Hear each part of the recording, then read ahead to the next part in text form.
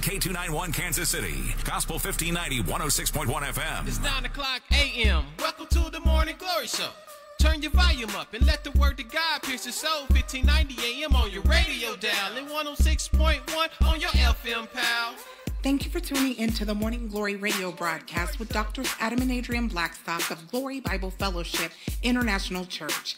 Sit back and get ready to receive a word that will transform your life.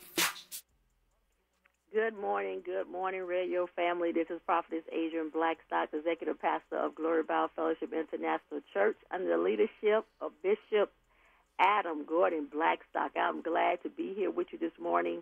I have an awesome word for you this morning, so you're going to want to make sure you get individuals to tune in.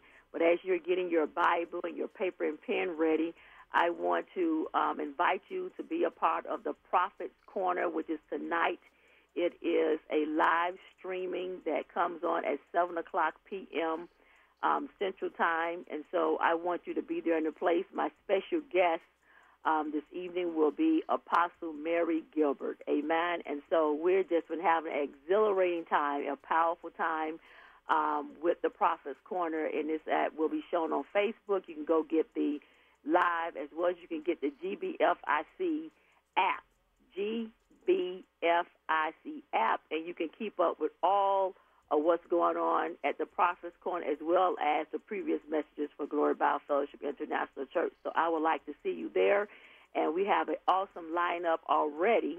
I have special guest male leaders within the greater Kansas City area that are going to be um, at the Prophet's Corner in the month of June. So you want to make sure that you stay tuned and tune in. Amen.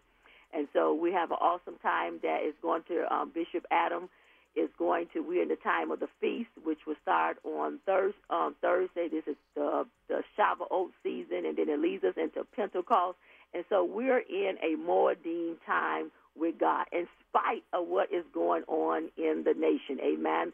This is why it's so important to know about the goodness of Jesus and knowing the seasons that we're in so that we know when we have trials and tribulation, it doesn't mean that God stops being God. He has always embedded into time where people uh, people of God will have hope and not faint or shrink back. Amen. So join us Wednesday at 7 o'clock p.m. live on YouTube, Facebook. You get out there, get the app, listen you will want to be in tune with what Bishop Adam is sharing with us on Wednesday night. Amen. And so this is an exciting time for you to be there. Well, I am going to um, have us in the book of Re- uh, book of Revelation. Amen. And we're going to start with Revelation chapter 12. And this is just a carry on from Sunday's message. Amen. And so this is not so much a logos word um, this is a rhema word that is spoken for the body of Christ during this time. There is a lot of debate and and going back and forth within the body of, within the body of Christ within our city in reference to we have individuals um, that were to wear masks and then there's those who won't wear the mask and so the Father was speaking to me and said, "Tell my people they're going to have to have faith in the blood of Jesus." I'm going to say that again. You are going to have to have faith in the blood of Jesus is miraculous working power. Why is God speaking that? Amen. Because we don't have control over another man or woman. Hallelujah.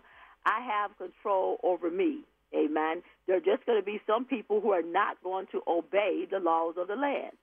So as I was out and walking around, it still behooves me that individuals we're um, facing an invisible enemy, and we have so many individuals who are gathering still in in circles or going into stores, and they're not protecting themselves.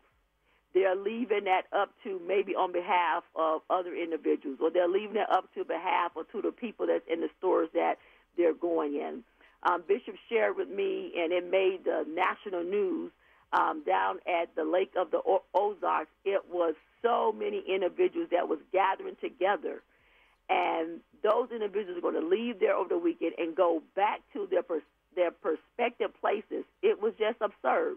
So we're not going to get into a hissy fit. So God says, listen, tell my people that the blood still works. Amen. And so that doesn't mean that you should be loosey goosey because you have an understanding of the blood of Jesus. Amen. That means you do your part. If you're supposed to wash your hands, wash your hands. Keep your hands clean. Wear a mask when you're not doing social distancing. And if anything was to, you know, to happen, you're still covered by the blood of Jesus. Amen. And so when we look here in the book of Revelation, chapter 12, we have to understand the time and season that we're in. So Revelation 12 at verse 10, I'm going to look at this in the King James Version, and then I'm going to jump over and look at it in the NLT or perhaps the easy version. Amen. So you guys bear with me because I am using this here technology. Amen. And so when we look here, it says, And I heard a loud voice saying in heaven, Now is come salvation and strength, and the kingdom of our God, and the power of his Christ. For the accuser of our brethren is cast down, which accused them before our God day and night. Verse 11. And they overcame him by the blood of the Lamb and by the word of their testimony, and they loved not their lives unto death. Therefore, rejoice, ye heavens, and ye that dwell in them. Woe to the inhabitants, pay very close attention to that, of the earth and the sea. For the devil is come down unto you, having great wrath, because he knoweth that he has but a short time. Amen. He has a short time. And so let's look at that in the um, easy translation. So I want to make this real easy for you, amen. So you don't understand, so you don't miss anything. So it says, then I heard a loud voice in heaven that said, "Now God has saved His people from Satan's power. God has shown His great power as King. He's King of Kings. He's Lord of Lords. His special Messiah has shown His authority." Satan said bad things against our people all day and all night, he has continued to say bad things against believers. But now they have thrown him out of heaven. So let me just help you. One of the broadcasts I'm going, one of the things I'm going to do, um, coming up on June the second in the Prophet's Corner, are demons real? Amen. You need to join me for that. Amen. And so here it is. It shows it here. But now they have thrown him out of heaven. But our brothers and sisters fought against him and they won. They trusted the Lamb who died as a sacrifice. They continued to say that God's message is really true. They were ready to die as God's servants. So be happy, everyone who lives in heaven, but the earth and the sea will have bad trouble. The devil has come down to you now. He is very angry he knows that he has only a short time to hurt people. I just I have it in my heart. It's my heart that if individuals will understand this, if we will understand what the devil already knows, amen, because he knows the word, that the devil has come to you now. He is very angry and he knows that he has only a short time to hurt people. Now, if you were to continue to read on, if you would read the book of Revelation, you will see everything has already been laid out. I want you for your homework, for the sake of time, I don't have time to go there, but I want you to read chapter 12 in its entirety. It speaks of how everything took place and how um, one third of the angels, all of that is, is laid out there prophetically for you.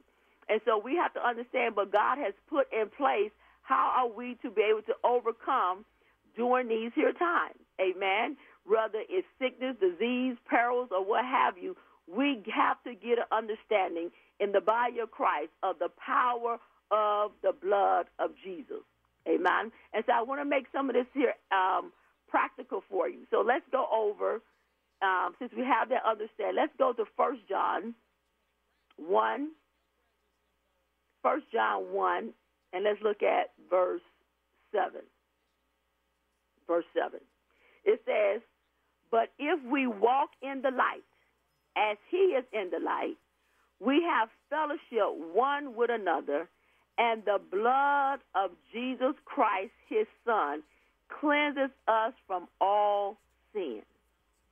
See, the blood of Jesus, when you have accepted Jesus Christ as your Lord and Savior, it cleanses you from all sin. If we will understand that and get that revelation in our head, that is the power of the blood. That is the power of what took place on the cross. Amen. Is that it was that blood cleansed you. It made it possible for you to be able to enter in and come into the presence of God. Hallelujah. Let's look at um, what it says in the Passion Translation. We're doing a really good Bible study here. Amen. I want to make sure I don't come back and make you hoop and holler. I want you to get an understanding. But if we keep living in the pure light that surrounds him, he share he we share unbroken fellowship. See, that's what it's about. When you're not walking in sin, amen, you you don't have unbroken fellowship with one another or with Christ. And the blood of Jesus, his son, continually cleanses us from all sin. Do you see that? Continually cleanses you from all sin. That's what the work of the cross has done for you. Let's look at it in the easy translation. Hallelujah. Glory be to God. And it says here, but when we live in a right way, it is like living in the light. I want you to think about that. I was when I was meditating, looking at it, I didn't on Sunday I didn't look at it in this translation when I was ministering. But it says you're living in the light. I think about John one and it talks about um, Christ being, you know, that Jesus is the light of the world. But here it is because you have accepted Jesus Christ, your Lord and Savior, amen, that now, hallelujah, that you are a part of that light.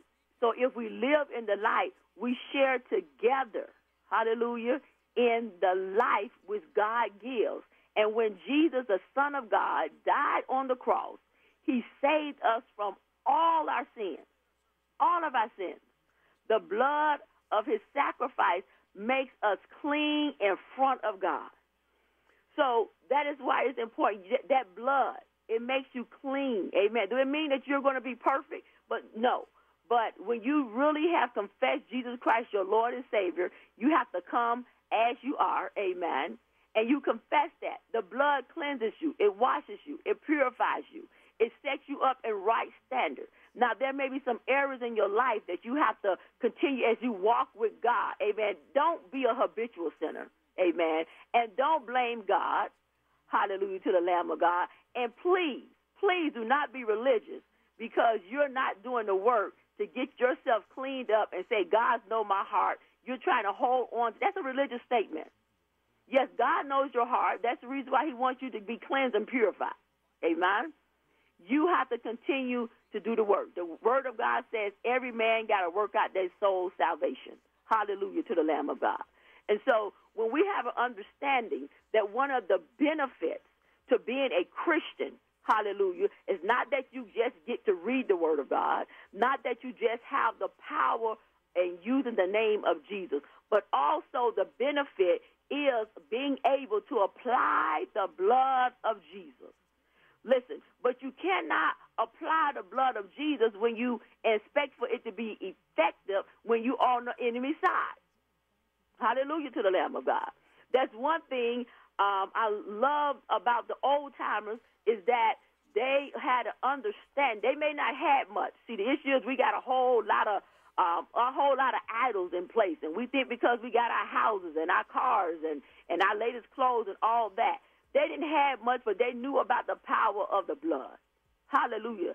About pleading the blood of Jesus. Glory be to God. So I want to come by here and make it very practical for you to be able that during this time, amen, we're not going to bring um, discord. I, I preach that. So I'm not going to have debates with individuals um, what we should do this and we should do that. Every leader is going to be held responsible for their own sheep. Amen. If you're not a part of a congregation, then I'm not talking to you. If you're not a shepherd, then I'm not talking to you. I am going by what the Word of God says. Amen. Those of us that are leaders in the body of Christ, He says that we are to be watchmen over the souls that He has put under. I'm not concerned about what's going on at the other church. Bishop and I have assignment for the souls that God has put up under us, and the decisions that we make. We are we have calendar calls decisions that we make for our house, amen, under the direction that we're saying that we're hearing from God, we're going to be held accountable for that. Glory be to God. So we got to get out of all this here debate, back and forth and all of this here. Glory. We need to walk in the power in the body of Christ as God has said to within the church. Now, are we going to be reckless? No. But what I am saying that God, what I'm seeing is that we cannot be in debate and bickering because that's what the enemy wants. A house divided cannot stand. So those of us who are mature saints, and even those of you who are babes and listen to me, we're going to rebuke fear. You're going to wear your mask when you are not in a social distancing, social distancing um, position, and you're going to be have, be covered with the blood of Jesus. Hallelujah. So this is the reason what the Father is saying. We're going to plead the blood. Think about it. If, if say, for instance, if there's over 30,000 people listening to me right now, and we all get an understanding that we are going to walk under the righteousness of God and in the light of God, and that we have power and authority to plead the blood of Jesus, to draw the bloodline. Why? Because it is a benefit to you as being a child of God. So therefore, we don't have to allow fear to grip our hearts in the name of Jesus. Now, the Bible says, say, be according to you faith. Amen. Now, I understand, before you know coronavirus came, I am a pleading the blood type of woman. Hallelujah to the Lamb of God. But I'm still not, when even when I go out, I still, when I'm going in public places, I'm going to put my mask on. Hallelujah. I'm not going to be just think just because I know I'm covered by the blood of Jesus, I'm going to do things reckless. I know where my faith is at, but I can't speak for everybody else where they're at in their faith. Okay? So we got to drive out fear. Some of you need to drive out fear by the blood of Jesus. You cannot be a scared saint during this here time. That's what the enemy wants. We got, if we're going to follow after our big brother Jesus, Jesus hung out with lepers. He hung out with sinners and, and sickness and disease and all of that. We still have to be the church in the name of Jesus. Allow the Holy Spirit to lead and, gov- and, and, and govern you but cover yourself with the blood of Jesus as you walk out through this here um, time with this COVID 19 in the name of Jesus. Glory be to God. So when we look over, we go to Hebrews, um, Hebrews 9 and 14. Look what it says. How much more shall the blood of Christ, who through the eternal Spirit offered himself without spot to God, purge your conscience from dead works to serve the living God. See, some of you um, need to have an understanding not just about the power of the blood of Jesus because we're in this time of a virus. Some of you need to understand that you need your conscience to be purged from the dead works so you can serve the living God. Amen. See, the battlefield is in the mind. That's where it begins at. I, I, lo- I like this King James because it talks about the conscience and amen. You got the subconscious. You got the uh, you got your up um, subconscious, up subconscious. You know, we always got all these thoughts that's coming in. You need to plead the blood of Jesus against those negative thoughts that's coming in. You need to plead the blood of Jesus against that fear that's coming in in the name of Jesus. So we have to pick back up the authority of the blood of Jesus and make this practical. How do we do that? Amen. I'm sitting here in my in my bay window here at home, and I like to, you know, the Word of God says that when I when I wake up in the morning, I say I take my rightful place at the right hand of Jesus. I put on the full armor of God, and I cover myself in the blood of Jesus. And then you got to learn how to draw the bloodline. If you don't know how to do anything, you need to draw the bloodline around your property in the name of Jesus. You should not be having the devil running havoc, hallelujah, on your property in the name of Jesus Christ. That's a practical application. I just told you how to do it. Amen. It ain't no trick to it. You know, speak it out your mouth. Hallelujah to the Lamb of God. The, uh, the scripture also say we come over for the sake of time. Amen. Let me see if I have time to go in the book of Leviticus. You may have also heard in reference to sprinkling the blood. That's Leviticus 16 and 14. Now get this. Leviticus 16 and 14 says, and he shall take of the blood of the bullock and sprinkle it with his fingers upon the mercy seat eastward, and before the mercy seat shall he sprinkle the blood with his fingers seven times. Now, if that was the blood of animals, and Jesus Christ has now come to the cross, and we know that the blood has been sprinkled on the mercy seat for you and for me in the name of Jesus. How much more powerful that we should be able to walk in because we are the true living sons of God. Glory be to God. Hallelujah to the Lamb of God. So we, we apply that blood. Um, I love to listen to, I love to find old testimonies of a practical application. And uh, one of the ones I was uh, read, I have a book that's called the uh, the Blood and the Glory by Billye Brim, and she gives so many testimonies in there of how, um, yeah, even during a time of crisis, uh, one of the ones that um, that stands out to me there was this pastor. Uh, he was, you know, doing the work of the Lord or what have you, and because of the, the the country that he was in, he was he was doing havoc, you know, creating havoc upon the kingdom of darkness. And so the enemy will start to speak to him and saying, "I'm going, I'm going to do this, and I'm going to do that to your your children. I'm going, I'm going to get your children to um, have rabies or what have you," because he had a large property. And so he got together instead of being in fear, because he knew he couldn't stop the work of the Lord. And he came together, and him and two or three other believers, they say, "We we draw the bloodline around my property in the name of Jesus for protection of my household and my children."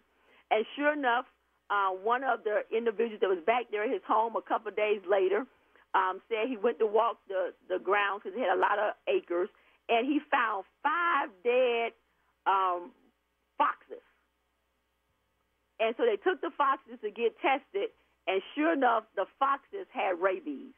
But when the foxes tried to get near, oh, get near the property of the man of God, they died. Hallelujah to the Lamb of God. You own your house. That house belongs to you. Plead the blood, plead the bloodline around the property from the north, the south, the east, and the west in the name of Jesus. You're in an apartment or what have you. Plead the blood of Jesus. Hallelujah in the name of Jesus. We cannot walk around in fear. Hallelujah. I love, I've been meditating in the book of Joshua, chap, Joshua chapter 1, where um, God began to speak to Joshua and say, Every place your feet shall tread upon, it shall be yours. That's the importance of when you're doing a prayer walk. Don't just walk. Hallelujah. I see a lot of people doing a lot of walking, but what are you saying? Are, are you covering the streets when you walk? If you are a Christian, amen, he said, Every place the every place the sole of your feet shall tread upon, it shall be yours in the name of Jesus. You take back the territory in the name of Jesus. You release the blessed of God over your city in the name of Jesus. You release the blood of Jesus when you walking out. Where everywhere you go. So when you go into Walmart, you don't have to be fearful that somebody gonna come in there and shoot it up. Why? Because you're there and you're taking the blood of Jesus when you go in. We got to rise up and walk in our power and authority. And some of y'all that's dealing with sickness and disease, see, the only power that Satan has against some of us is that he's trying to get you to quit. That's the reason why we got to lay hold of what it says in, the, in Revelations chapter 12 that what we we have already the work has already been done. It was done on the cross. We overcome Satan by the power of the blood and the testimony of Jesus Christ, and we love not our lives unto death. When you get a revelation and when you know that you are so enough saved. Hallelujah. I don't care if you're 30. I don't care if you're 40. I don't care if you're 50. I don't care if you're 17. When you get a revelation that you have eternal life, hallelujah, to the Lamb of God, and you don't have to be fearful about what's going to happen to your life, hallelujah, then there will be a greater power and authority that'll come over you in the name of Jesus. You won't be have to run around fearful and scared. Why? Because to be absent from the body is to be present with the Lord. Now, what you are to walk in is that you're not going to just lay down and allow Satan to, to override you in the name of Jesus and make you leave here before your time, hallelujah, or to be fearful to do the work of the Lord. When you have access and power to the name of Jesus, there is no other name.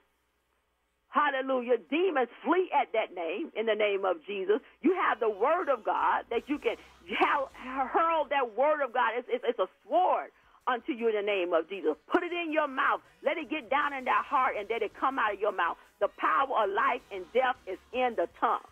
Hallelujah. I'm about ready to make my, hallelujah. I'm about ready to run around my bedroom in the name of Jesus. I hope I came by to stir you up in the name of Yeshua HaMashiach. Because the blood still, say that to the blood still works. Hallelujah. It works. You utilize it, it works. So I done gave you two points. You're going to draw the bloodline. You can plead the blood of Jesus. And right now, I want you to take, come on, take your left hand and hold up over your head in the name of Jesus. First, you're going to say this, Heavenly Father, in the name of Jesus, forgive me of all my sins, known, unknown, word, thought, and deed, in the name of Jesus. Satan, I destroy your works in my life in the name of Jesus. Holy Spirit, release a greater conviction upon me, and I receive your power and your authority in the name of Jesus. Cover me afresh with the blood of Jesus. Come on, sprinkle the blood. I sprinkle the blood of Jesus over me. I sprinkle the blood of Jesus over my children and my children's children. I sprinkle the blood of Jesus over my spouse, over my immediate family, over my extended family. I release the blood of Jesus. Hallelujah to the Lamb of God. Woo! The blood still works. Yes. Yes, come on, the blood still works. The blood of Jesus against cancer. The blood of Jesus against high blood pressure. The blood of Jesus against poverty and lack. The blood of Jesus over your mind in the name of Jesus Christ. Come on, you should, I decree you should have peace. Come on, stand hold the blood-stained banner in the name of Jesus Christ. And that the blood of Jesus over your children to come out of out of incarceration, to come out of drug addiction, to come out of lust and fornication. We release the blood of Jesus in the name of Jesus. And no weapon formed against you shall prosper. And every tongue that rises up against you, it shall be condemned. Because you are a child of God. It's your benefit. Hallelujah. I don't know how much more time I got. Hallelujah. In the name of Jesus. Hallelujah. So as I leave here today, remember Jesus is Lord. If this broadcast has been a blessing to you, feel free to partner with us by sowing a seed at gbfic.org or mailing a check to Morning Glory at 1126 Northeast Delta School Road in Lee's Summit, Missouri 64064. If you need special prayer of any kind, please feel free to call us at 816 795 1900. Camp is a great place to get a break, encounter Jesus, and build important life skills. City Union Mission's summer Bible camps for kids in poverty are dependent on hundreds of God focused volunteers ages 16 and up. Please consider ways you could help. Commitments are as little as two hours or as much as a week and range from lots of kid contact to service roles to office tasks. To learn more about volunteering at Camp CUMCEDO, email campworkers at cityunionmission.org. Hey, I'm Debbie D with Slim for Life. I lost 20 pounds with Slim for Life, and you can do it too. Summer is around the corner, and it's time to take action and take control of our weight and get healthy. If we've learned anything, it's that our health is a priority. Slim for Life is here to help. Start your program today and meet with your personalized weight loss counselor. Whatever way it works best for you, personal consultation by phone or virtually. Make a call or go online and start today. It offers relief for joint stress, gives you more energy, and changes your outlook on life. Think about it, and children join free with an adult enrollment. Slim for Life is the fastest, easiest, most effective